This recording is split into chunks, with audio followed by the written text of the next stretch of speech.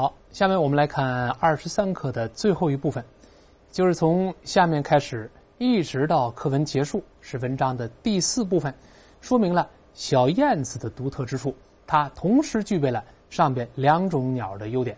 咱们看全文的第十二句话，这句话说：“The swallow shares the virtues of both schools in highest measure。”他说这个小燕子呢，在最大程度上。同时具有了以上两种鸟的优点。这个 the swallow 还是咱们说的单数前面加定语词的表示类别，但是这个主谓一致的话，谓语必须用单数，因为形式是单数。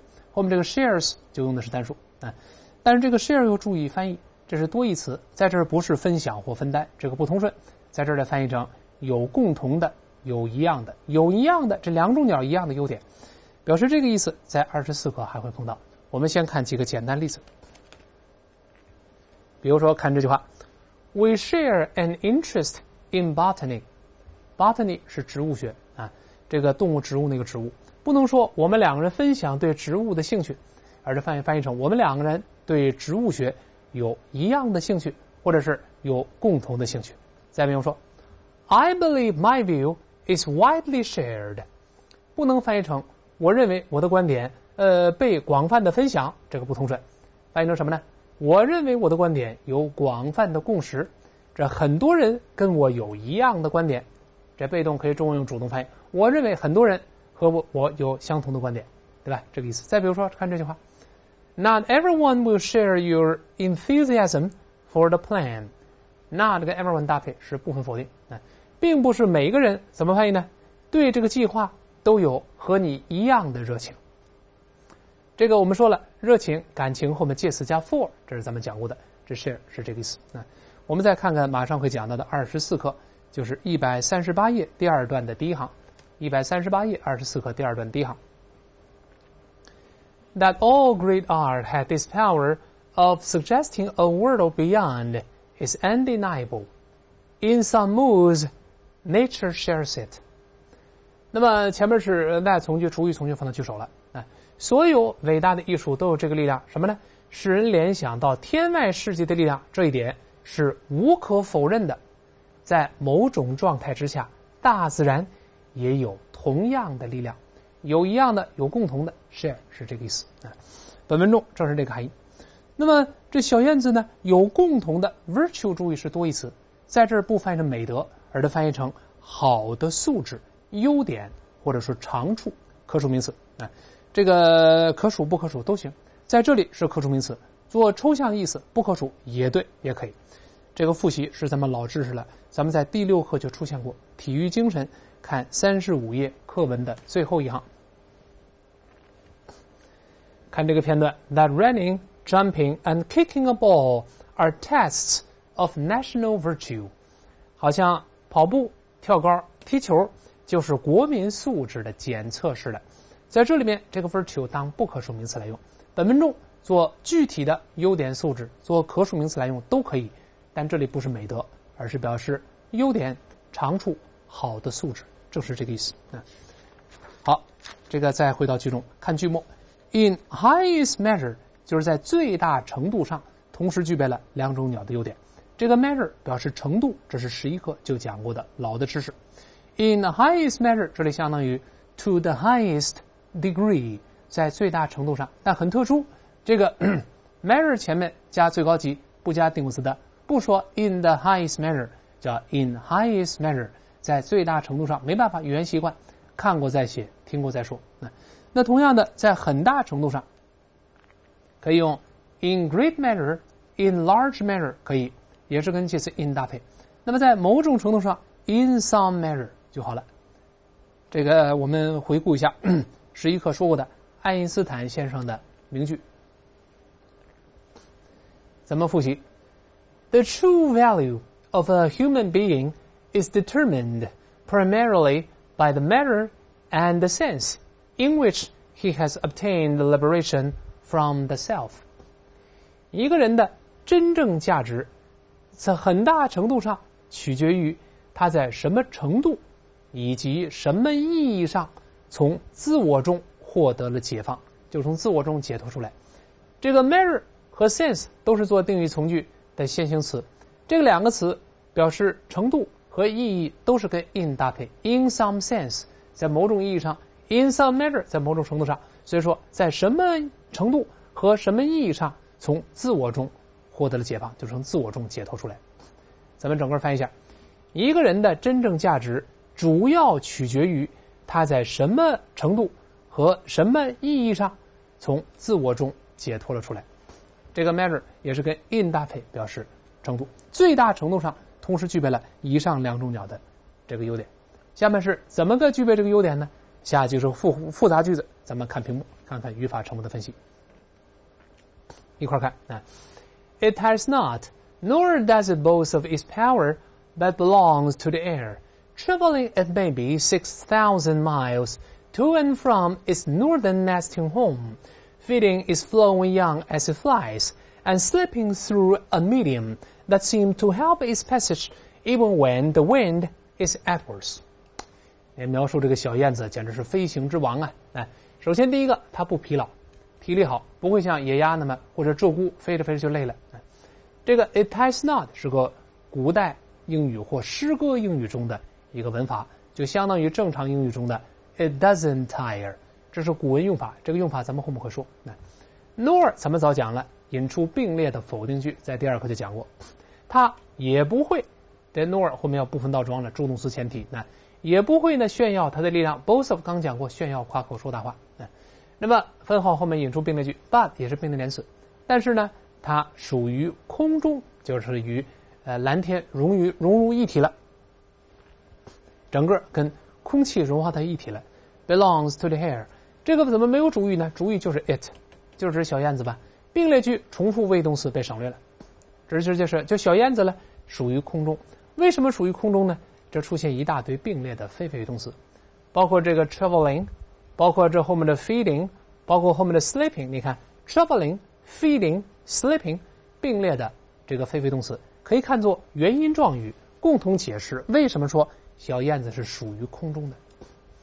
后面这个 it may be 是插入语，补充说明一下，可能是六千英里哦。作者说没有把握，也可能是五千八，没有把握，是可能大概六千英里左右。就是呃，这个从北方坐巢的老家，这个飞到那儿去，再从那儿飞回来，往返大概六千英里。It may be 是插入语，这个术后的解释是倒装，这个解释有问题。如果是倒装句的话，这是完整句子，这也是完整句子，两个句子中间没有连词，这句子就错了。所以这个不是倒装。这个 traveling 是跟 feeding、sleeping 并列的非被动词，解释为什么它属于空中。那么首先呢，他们回家从家里飞回，都在空中飞呀，对不对？那么就是 northern 北方的 nesting home 就是 home for nesting 筑巢的老家，飞到那儿去再飞回来，往返六千英里都在空中吧，对吧？当它飞翔时，为它刚刚会飞的那是雏燕，as it flies 是时间状语从句，就是嵌套在非谓动词内部的非谓动词中心词不 feeding 吗？flown 就刚会飞的，长这个这个翅膀长成的，一样表示这个幼兽或幼鸟。但注意，这个词本身就是复数，啊，young 本身就是复数，表示幼兽或幼鸟，所以不能加 s 了。当它飞行的时候，喂小燕子，就是进一步说明为什么说它属于空中啊，对不对？并且怎么样呢？Sleeping 就轻巧的一溜一滑就过去了，through a medium 在媒介中轻轻的穿行，轻巧的滑行。这个 medium 媒介就是在这还是空气嘛，就是 air 嘛。媒介媒体用复数常见，复数是 media。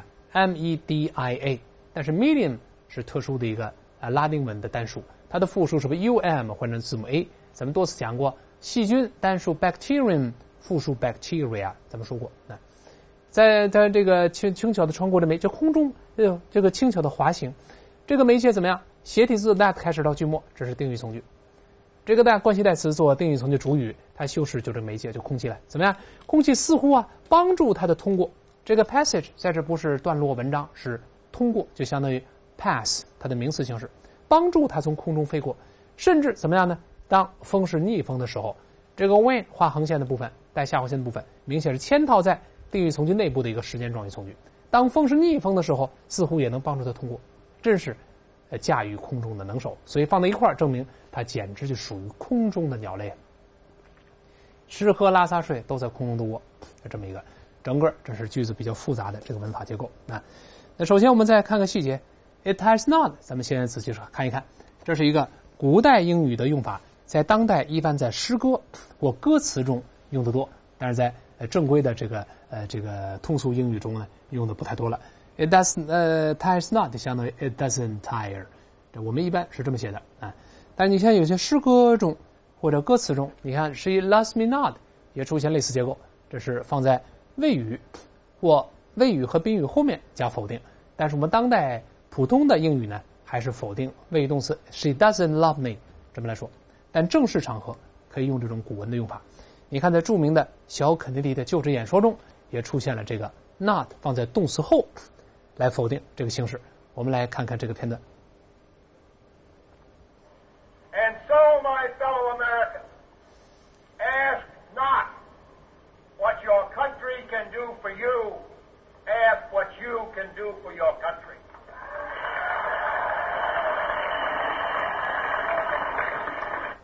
导致因此，我的 fellow American 美国同胞们，不要问你的祖国能为你做什么，你要问你能为你的祖国做什么。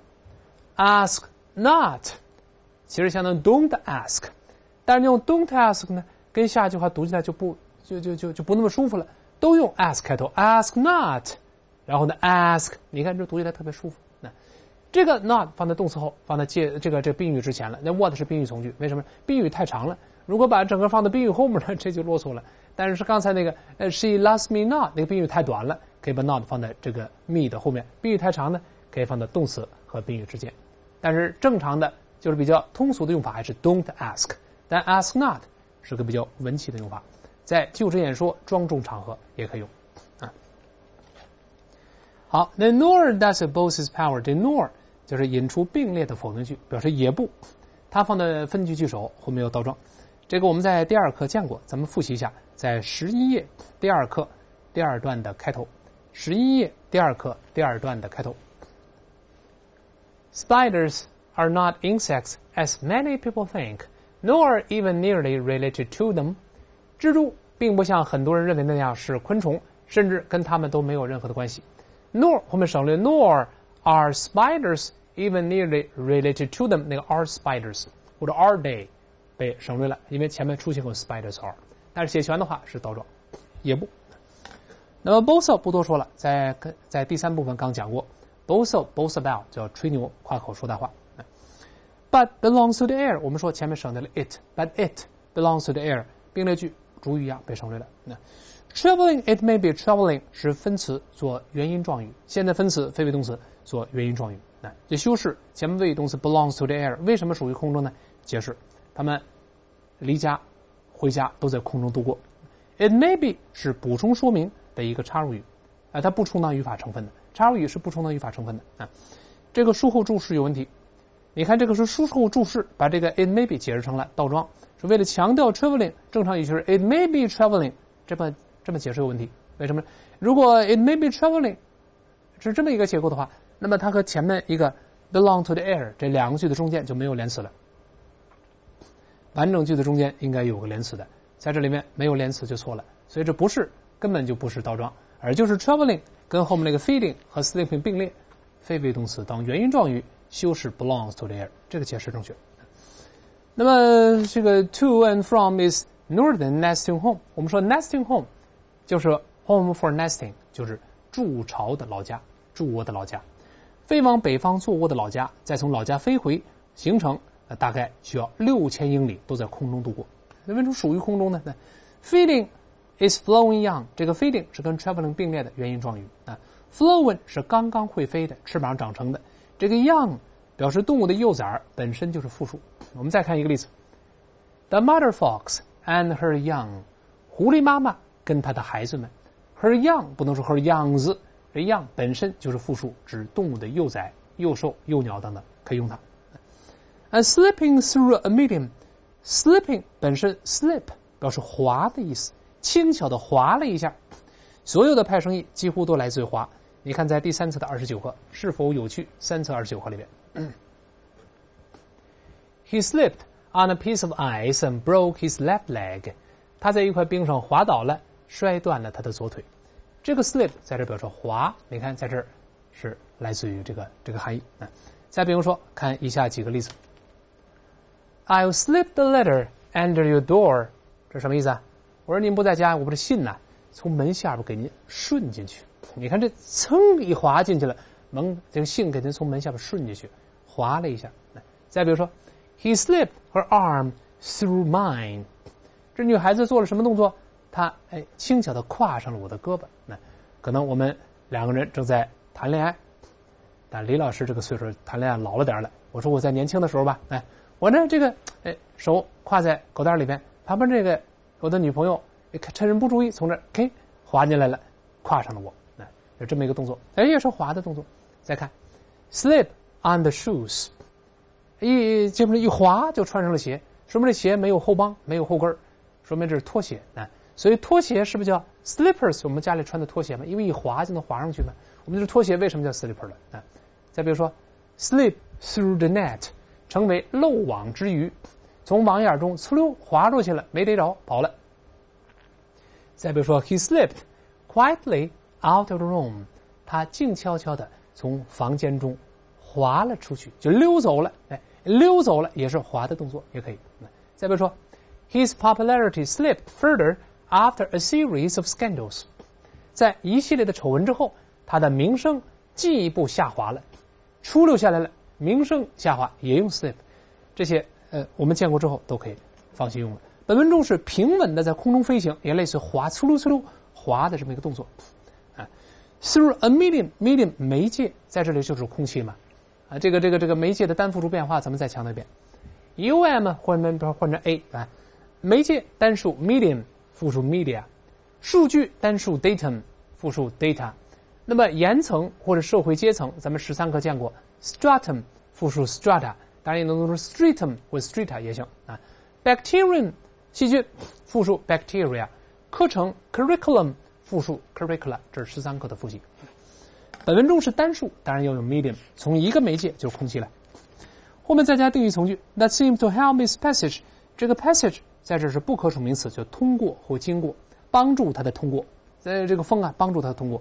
这个再比如说，时间的流逝，时间的推移，时间过去了，the passage of time 也是这个意思。passage 这不并并不是文章段落这个意思。这个后面说，even when the wind is adverse，甚至风是逆风的时候，它也能中，那它也能在空中平稳的滑翔，似乎气流在帮助它的前进似的，是这么一个。就说明简直是属于空中的这个鸟类。好看整个文章最后一句话比较复杂，看屏幕。Such birds do us good, though we no longer take omens from their flight on this side and that, and even the most superstitious villagers no longer take off their hats to the magpie and wish it good morning。这是两个句子并列，中间 and 连接，两个并列句。第一句话的主句很短，Such birds do us good。说这种鸟对我们有好处，do somebody good 叫对某人有益处。这个 good 在这是不可数名词， 并并不是形容词了，不可数名词啊。这个 though 引导黄颜色的是让步状语从句。尽管我们已经不再呢通过它们飞行的这个飞向哪边呃，像靠左边飞靠右边飞来占卜吉凶了。take omens from something 就用什么什么来占卜吉凶啊。就是靠左边飞还是靠右边飞？对，以前迷信嘛，认为这个小燕子靠左飞靠右飞，用它占卜吉凶。啊，这我们已经不尽管不这么做了，但依然我们认为这是有益的鸟类。哎，引出并列句是那些最 superstitious，十八课讲过迷信的最迷信的村民也不再怎么样呢？不再摘下帽子来向喜鹊摘下帽子来祝着，然后祝你早上好。哎，这是最后一句话，语法不难，里面细节很多。首先这个 do somebody good。相当于 benefit somebody 对某人有益。我说了，good 是不可数名词，叫做善、好处、好的东西，哎，是不可数名词。Do somebody good。我们同样通过一些例子来看一看。比如说，I think a trip to the beach will do us all a lot of good。我认为呢，去海滩旅行将对我们大家都有很多好处。注意，good 还是不可数名词，a lot of 可以修饰不可数名词，是对的。那对我们很有好处。那。那么反义搭配呢，就对某人有害，do somebody harm，对某人有害，固定搭配，记成 harm 也是名词，啊就好了。我们同样通过一些例子来看一看。The occasional piece of candy doesn't do you any harm。偶尔吃一块糖啊，对你不会有任何伤害，没有任何害处啊。这个 candy 表示糖果，不可数名词，所以用 piece 来修饰。下面我们同时记一个在三册讲过的搭配，叫什么呢？弊大于利。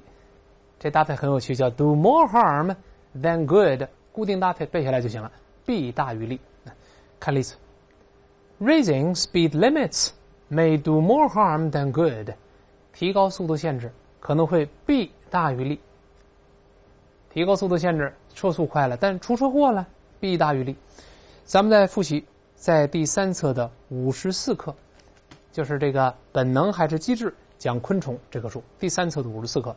出现这么一个片段，他说：“We have been brought up to fear insects, or regard them as unnecessary creatures That do more harm than good. Be brought up to do 是从小就怎么样啊？我们从小就害怕昆虫，我们把它们看作是多余的生物，弊大于利。大家讨厌昆虫，固定搭配可以这么说。这个跟 do some good 同时记住啊。后面说，尽管我们 though we no longer take omens from their flight。” Take omens from 是用什么什么来占卜吉凶？咱们在前面说过，omen 本来表示这个兆头啊，你从什么什么中获得一些吉凶的兆头，是用什么什么来占卜吉凶？比如说，take omens from cars，用扑克牌来占卜吉凶，是这么一个搭配。那那顺便可以把相关搭配同时记住。还有个搭配叫 take something as omens for 哒哒哒，用这个结构叫做。把什么什么东西当做是什么什么的兆头，这个 take as 可以表示把 A 当做是 B，把前者当做是后者的一个什么什么兆头。咱们看例子，比如说，She took all the little things that happened that day as omens for their future married life. Married life 就婚姻生活了。这个女人很迷信，她把她那一天发生的所有的那些小事情都当做是他们未来婚姻生活的。兆头，哎，看见喜鹊了，觉得高兴；踩狗屎了，又觉得很郁闷。把什么什么当做什么什么的兆头，这个顺便可以记住。好，再回到句中，And even the most superstitious villagers，甚至最迷信的村民，superstitious，迷信的十八课讲过。咱们回顾一下名词，叫 superstition，迷信，还记得吧？那么我们还讲过，助长迷信叫 foster superstition。破除迷信叫 break down 或者 abolish superstition，叫破除迷信，这是我们在当时讲过的。好，再回到句中啊，甚至最迷信的村民 no longer take off their hats，take off 摘下来呗，摘帽子呗。To the magpie，冲着喜鹊摘帽，喜鹊咱们讲过。那 and wish a good morning，注意这个表示祝愿，用 wish 搭配是 wish somebody something，这个搭配不要错。这个比如说，我祝你有好的成功哦。I wish you great success。这么来说啊，我祝你有一个灿烂的未来哦。I wish you a splendid future. Wish somebody something。但是我们表祝愿还进入 may，但 may 搭配是 may somebody do，这个搭配不要错。呃，这个同样，比如说呃，这个呃，上帝保佑你哦，May God bless you。May God bless you。但有的时候变成更简单，may 没了，God bless you。更简单，God 也没了，bless you 也行。但单独 bless you 一般是表示别人打喷嚏啊啊啊啊切，或者 bless you，大家一般这么上帝保佑你不要得病哦。但是写出来的是 May God bless you，读快之后 bless you 变成 bless you，就像那个 this year 读快变成 this year，我们讲了这发音变化。再比如说，祝你有个美好的未来哦，May you have a splendid future，May you have 跟上面的 I wish you a splendid future 可以同时记，这不一样的啊。但中国人一读别扭，，May you 好像没有一样啊！但是确实英语中是这么说的：May you have a splendid future. I wish you a splendid future. 注意表示祝愿，不同的搭配，没办法，语言习惯直接背下来就好了。好，二十三课也是重要的文章，其中细节、文法、语法、句法，呃，重点都很多。希望大家反复把这个视频收看，把中间的营养榨取出来。啊，把这个呃精华榨取出来，呃，慢慢消化、吸收、利用。光听一遍之后，好像看了看这个东西，看了个大鸡腿，流了哈喇子，看过不管用，吃到肚子里边，消化出来，把营养都吸收进来，这才真正掌握了。二十三课重要文章，跟老师就学到这儿，谢谢同学们。